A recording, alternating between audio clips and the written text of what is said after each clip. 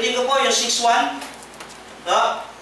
Paano nga, ano nga ang ating sasabihin? Ang ibig sabihin ni Apostol Pablo dito ay, paano nga ang ating gagawin?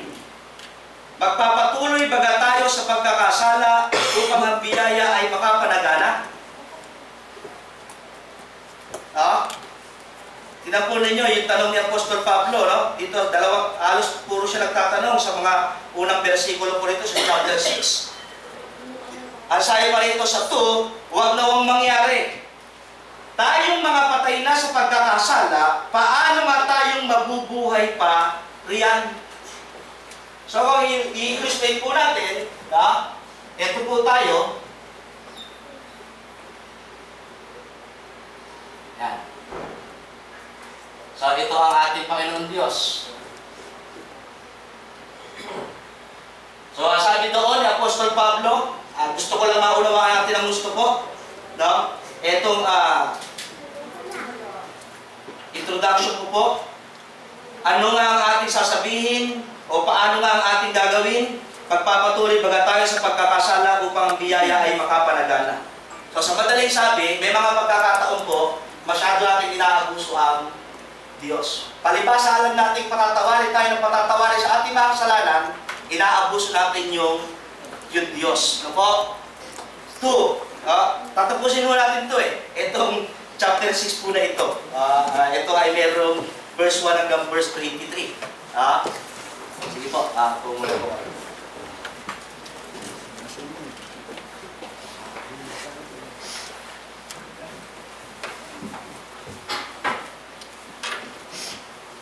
Okay, sa to po. Huwag na wang mangyari. Tayong mga patay na sa pagkakasala, paano nga tayong mabubuhay pa riyan? No? So, sa 3, sabi dito ay ganito po, O hindi ba ganinyong nalalaman na tayong lahat na mga nabautismuhan kay Kristo Jesus, nangabautismuhan sa kanyang kamatayan? Hmm, puro tanong. Ano po, si Apostol Pablo. Tayo ngayon nangalibing nakalakip niya sa pamamagitan ng bautismo sa kamatayan na kung paanong si Kristo ay nabuhay na magpuli sa mga patay sa pamamagitan ng kaluwalhatian ng Ama ay gayon din naman tayo makalalakad sa panibagong buhay. So, ang ating po illustration ay ganito po. No? Dito ang ating Panginoong Kristo.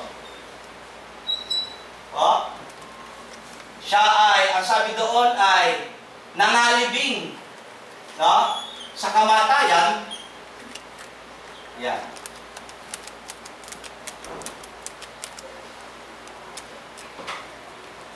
Po, pot, tayo ngayon nangalibing nakalapit niya sa pamamagitan ng, ng bautismo, sa kamatayan, na kung paano si Kristo ay nabuhay na maguli sa mga patay, sa pamamagitan ng kaluwalhatian ng Ama, igayon din naman tayo makakalakad sa panibagong buhay. So, kung paano ang ating Panginoong Kristo ay nabuhay dito sa mundo, siya ay nangalibing at siya ay muling nabuhay sa pamamagitan po ng kaluwalhatian ng Ama. So may sinasabi doon na kalakip niya tayo, no? Na nangabuhay at makakalakad sa panibagong uh, buhay.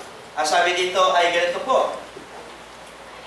Sa 5. Sapagkat kung tayo ngay naging kalakip niya dahil sa kawangisan ng kamatayan, o kanyang kamatayan, ay magkakagayon din naman tayo sa kawangisan ng kanyang pagkabuhay na magpuli. Yan. Na nalalaman natin na ang ating datihang pagkatao ay kalakip niyang napako sa krus upang ang katawang salarin ay magiba at nang sa gayon wag na tayong maalipin pa ng kasalanan. So makikita po natin doon, no, ito ang ating buhay. Alam po ninyo, tayo alipin ninyo ni Ito po, ng kasalanan. No? So, kung titignan po natin mabuti, ikaw at ang kasalanan ay merong intact na relasyon sa isa't isa. Ipakikita po yan sa mga susunod pang versikulo. No? Ikaw at si Satanas o ang kasalanan ay merong koneksyon sa isa't isa. May ugnayan kayo. Maganda yung inyong relasyon. Kaya dumarating sa punto ng buhay mo, kung ano sabihin ng karelasyon mo, sinusunod mo, bakit po? Meron kayong ano po? Relasyon eh. Nakikita po natin, no? Kahit naman kumisa sa, sa, sa ating mga mahal sa buhay eh. Diba? Kahit minsan sa buhay natin, meron tayong mga, meron tayong mga girlfriend, asawa, di ba meron mga pagkakataon na susunod sila, hindi tayo. Di po ba may mga pagkakataon? Huwag mong gawin yan. Kahit alam mo sa sarili mo tama yan, hindi mo magagawa dahil may kumukontra sa'yo. Huwag mong gawin yan. So, bagaman sila ay hindi lagi nasusunod, pero may mga pagkakataon sila ay nasusunod.